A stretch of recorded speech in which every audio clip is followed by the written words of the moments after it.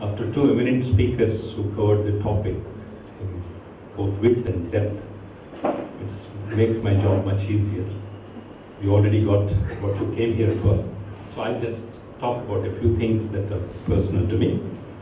I want to explore this idea or this question can we live a life of higher significance and quality by elevating our thought process to a higher level?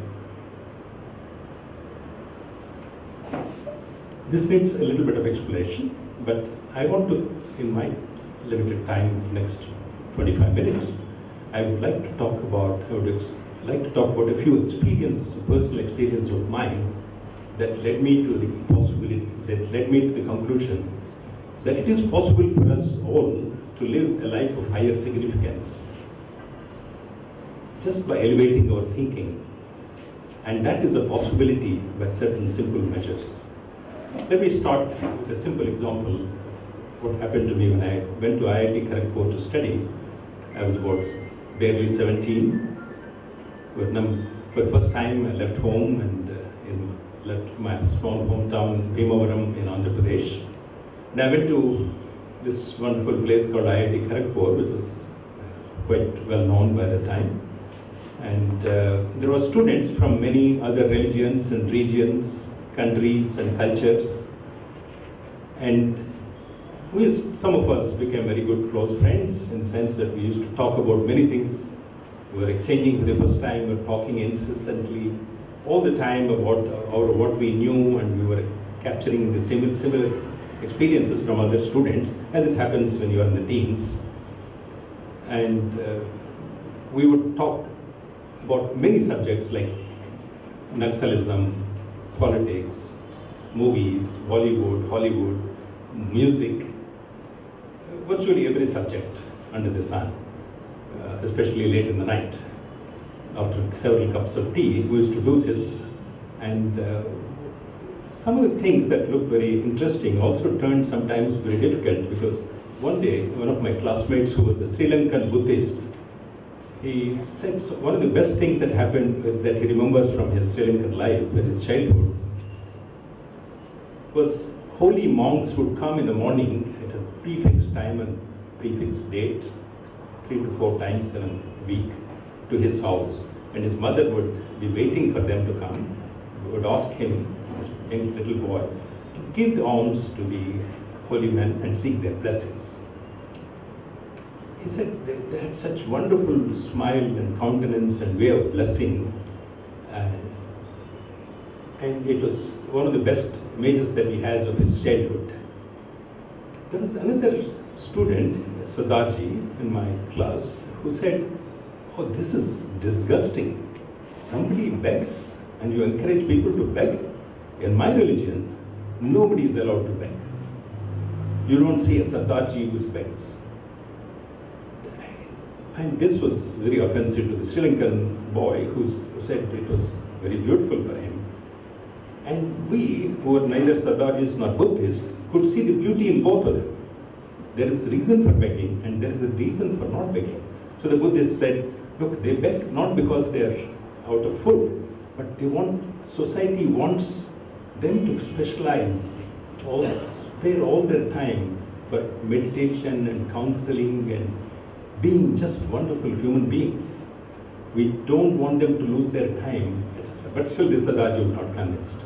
And I, we could see his point too. A man should learn to stand on his own feet, not be dependent on anybody else like a parasite and for what, whether religious or any other purpose. Both points of view were valid. And we could see, and they could not see, both of them, the opposition that was coming from each other. A little later, we saw similar problems with, between Christian friends of mine and Muslim friend, because Muslim friend once said to a Christian friend who had a Christ symbol with a cross, he said, this is all not really, you know, this is not really progressive. Because the God cannot be symbolized into small human being level. It's so abstract, so powerful. And to think of him as somebody who lives and bleeds if you hit him, as is very um, is not very uh, progressive at all because my religion came a little later. It's much more evolved was the line of thinking, and of course to which uh, many of us, many of the friends immediately said, yeah, we want to convert to Islam because we can get married four times, and so on. Okay, so, but at one time, somebody asked a question after several months of this kind of various discussions that were happening. Hey, let's not look at the differences in the religion, let's look at what's common between the religions. Just in a matter of two minutes, it became clear that all religions talk about love, compassion, kindness to other people, respect for other human beings, and all that is common is between the religions is what every religion is about. So why are we looking at some small practices? Let's go beyond this. And afterwards, none of us started. Just in those two, three minutes, the clarity that came, and it's important to get the clarity because clarity gives energy to go forward with energy, with tremendous enthusiasm to understand things at a higher level. Just elevating yourself, not look at the differences, but look at the commonality between the religions. That was tremendous lesson that I picked up from those conversations. Of course, in those many conversations, there was one question that was always there, that every day was, we were faced with a conversation, that question. And there was one question which should not have, which should have been there and it was never there, like all students understand this. The one question that we always wanted to see was, was on top of the mind was, what for lunch?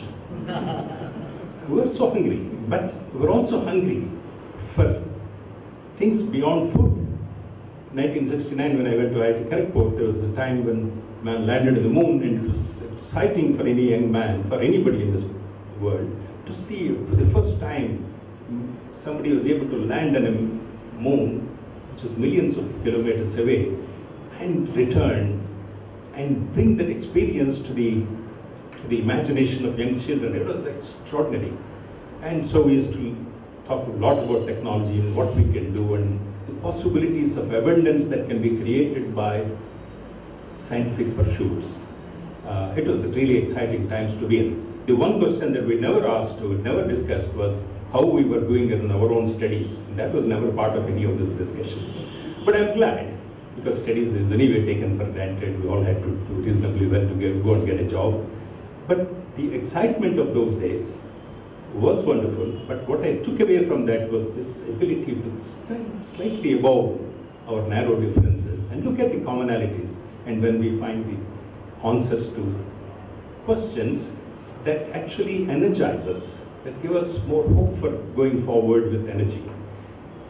Second such thing happened uh, when I was in the Institute of Science, Bangalore, and I won't go into details. It just at the end of a large, long discussion late into the night, we came to the conclusion we don't understand all these religions and practices and things like this, but we understand above all that every man wants to be happy.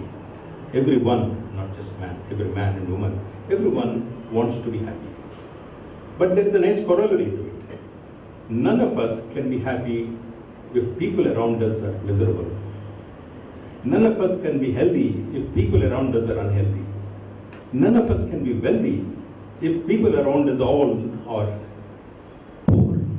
if they're all poor, it's only a matter of time. There'll be violence, there'll be unhappiness, there'll be unhealthiness. So it is important that if we want to be healthy, happy, that we make sure that not only we strive for our happiness, but we strive for those of us in our family, in our community, in our organizations where we work, in the country where we live, wherever possible, we need to bring in the same level of happiness, work for their happiness too, not just our own. Because as a lone person, if you are trying to be happy, it doesn't work. What is beautiful about this synthesis is that what looks like a selfishness, I want to be happy, actually requires that you be, be altruistic and make sure that everybody else around you happy, be happy because in the absence of that, you cannot be happy alone. You cannot be healthy if everybody around you is unhealthy, either physically or mentally. So this ability to bring polarities together, the opposites together, is the example, is, is what is higher life thinking about. The looking at life from a higher pedestal essentially means that you were able to synthesize or take a thesis and antithesis like selfism, selfishness and altruism and create a synthesis of a higher value. Combine both of them and find a path that requires both selfishness and unselfishness. The third one example is, uh, is an extraordinary example that I saw. Uh, as you, some of you know, that I did this 108 experiment and I was invited to Panchgani to give a talk by Rajmohan Gandhiji. Uh, and I was giving a talk, and one, one I, I went there a couple of times. One day, I met a couple, not a couple, uh, two individuals. Um, one is a lady by name Ginn Fourie. She's from South Africa, a white American, white South African woman. She's 60 plus. She and was she was a school teacher or something, just about retired when I met her. She came, and then there's a black man, uh, Letlapa was his name. He was about 35 at that time, and he was a South African black freedom fighter and very energetic young man. And the relationship between them is that this black man shot and killed the white woman's daughter, 19 year old daughter. When they talked about it, they went onto the stage and talked about it and gave their life story. It was stunning. It had made such an impact on all of us to see them talking to each to this talk. They, gave their life story like this. This young woman, for a 19 year old girl, lively girl, apparently for all accounts, full of life, uh, enjoyed dancing, was good at many things. And but so some white people have done something to some black people somewhere, and they decided to kill one white person, and she happened to be there. They picked her. She was an easy target. She was go, going home late in the evening, and they shot her. And the white woman, this lady Ginn, she's it took a long time for her to, several months to get out of the grief and anger and frustration. But at that time, she kept her cool. Many of her daughter's friends, she told me, came and told her, just give us permission and we'll kill him. But she said, no, if I do that, then they will be killing some of you. Some other black men some, from some other place, maybe his relatives, maybe his friends, will come and kill you people. That's not what you want. So I went over this for several months and came back and decided one day she announced to all the people in the thing and through newspapers that she wants to go and meet this black man who killed her daughter. There's tremendous opposition from the whites and also from the blacks because this can polarize and, tear emotions apart. Already the country was in bad shape and this was this could just set it up in flames. She said, no, I want to meet him. I want to talk to him in public, in openness. She went there, surrounded, she, many white people went with her, some of them with arms. The black people came, also, the, actually it was their village. She went there. Black people were standing, some, some of them with sticks and knives and so on, and guns. She, she did not say, I forgive you. She did not say, I am extremely upset, but I still forgive you. She said, in great immortal words, and this is, um, by the way, this is uh, documented in a, in a documentary by BBC called Beyond Forgiveness. And this lady said, I, I, at that point, I said, I want you black people to forgive me and my, all the white people that have come to this country and ruined you. For the first time, I've understood that many of you have lost your daughters, your aunts, your mothers, your sisters. What it is like, I understand now.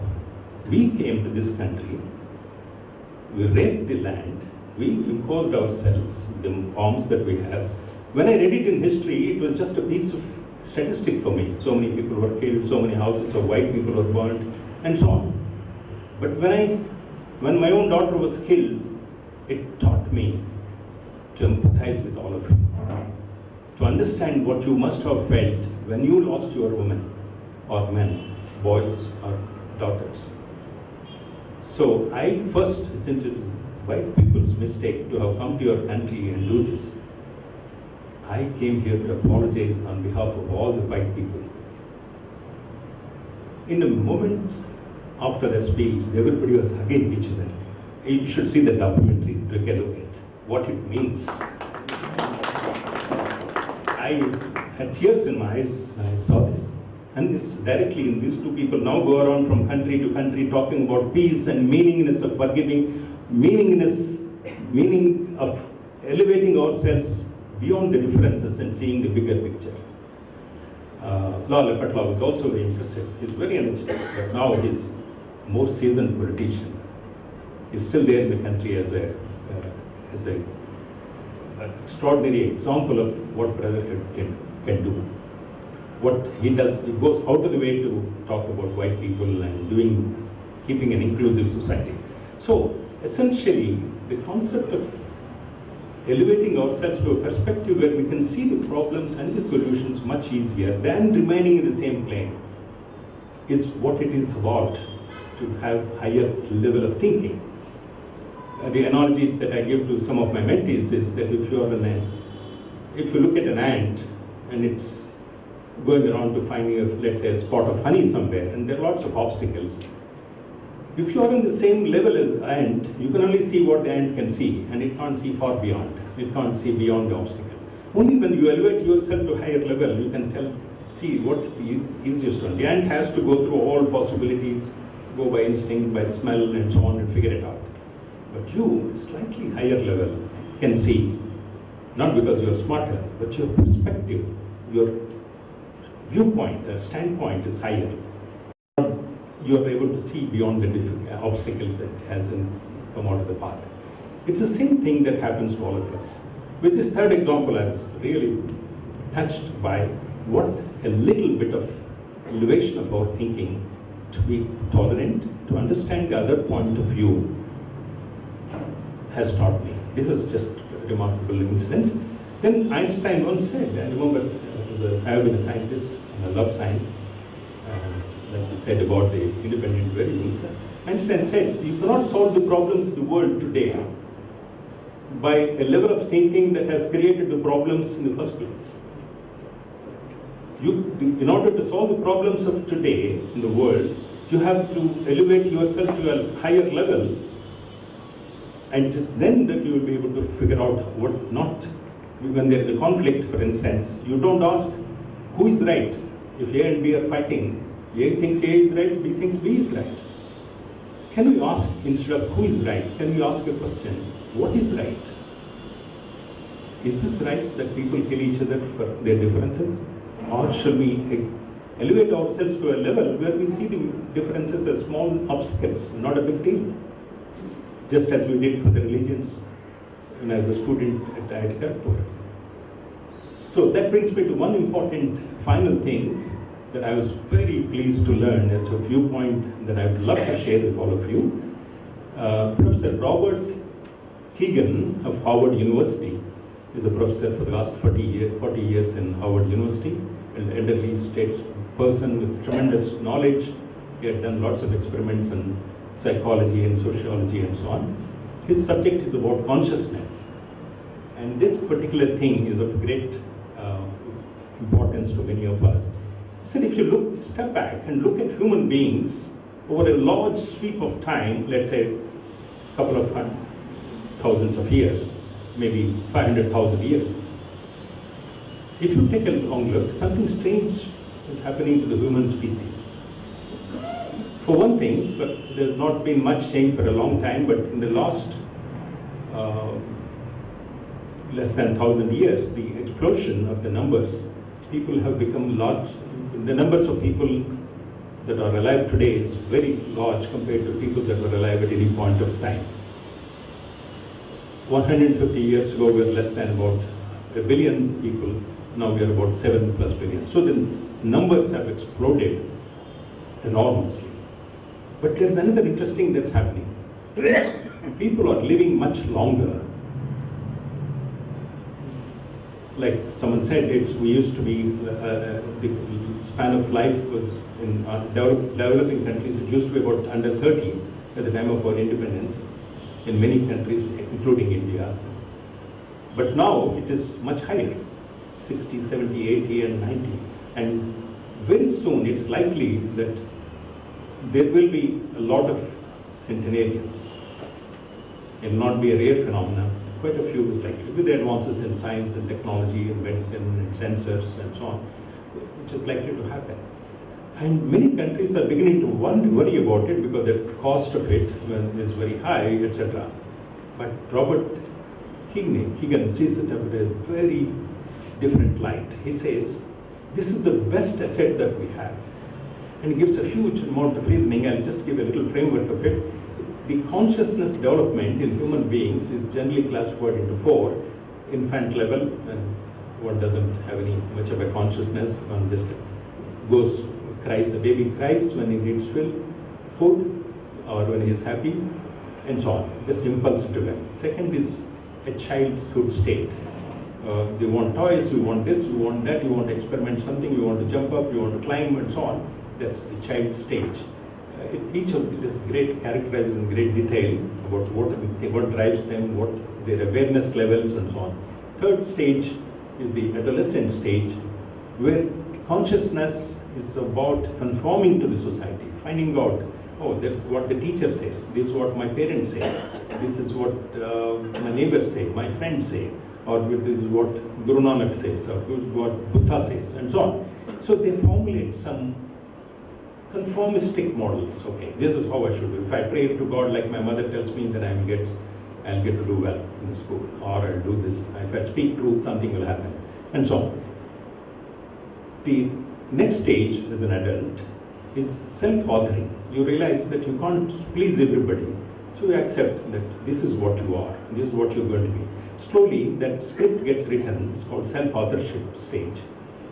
You identify with yourself, you say, I'm like this, I am like this, I will not take this nonsense from anybody, or I will do this, or I'll be very smart, I will be diplomatic, and so on. So, so many types of rules you set for yourself that is about conscious adulthood. For a long time, so psychologists and psychiatrists and so on, human beings have been classified into only these four categories. But Kegan says there's a fifth category. And that's very important for this understanding. And that is a self-transformation stage, fourth and fifth stage. When he talks about, important here is that you realize that you may be a Muslim, but you also see the point of view of others. You may be Hindu, you see the point of view of others. You may be a rich man, but you also see the poor man's point of view. Which is most, Kegan says, most, most people can't get to that stage. In fact, many people may not get to that stage ever. But distinctively this stage develops a little later in life. 40, less than 40, most people don't get it. After 40, some people get it. And this is the transformative stage. And he says, concludes very beautifully about some of the things that can come out of this. The vast majority of the people, you see, after the reproductive and fertility part of life, this is the only species that lives as long as human beings do. If you live till 90 or 100, you are, you know, people used to live till 30 or 40 earlier. So that's become a midlife. So you have many years of physical disintegration. Human life in, in the physical sense, it goes up and then comes down. But the consciousness level actually goes up until you start forgetting altogether. Until that stick comes, and it comes very late to most people. You may forget small names and this and that, but you may not forget the ability to take a thesis, antithesis, and to come up with a synthesis of something better comes much more easily. You're less identified with some small thing like, oh, I have a car, I have a this, I have a beautiful uh, vacation home someplace, or I have a wonderful family and so on. Beyond, you are somebody beyond all these things. That consciousness is something that can actually cultivate and is extremely optimistic that the large number of people that are living beyond this are a great source of support for an ecosystem that's breaking apart. They, they will provide a number of alternative ways of looking because the strife, the survival mode, the tribal thinking of anybody who is not with me is an enemy of mine, that is the source of the tensions of the world. But if it can be contracted, as he beautifully says, a 30 year old parent knows how to guide, look over, look after, and watch over a 10 year old child. In the same way, a 60 or 70 year old should be able to look after a 40 year old misguided young man, just take care of him, guide him a little bit. And this is a fantastic possibility. So there are eminent elderly people in this stage, and there are quite a few on the audience.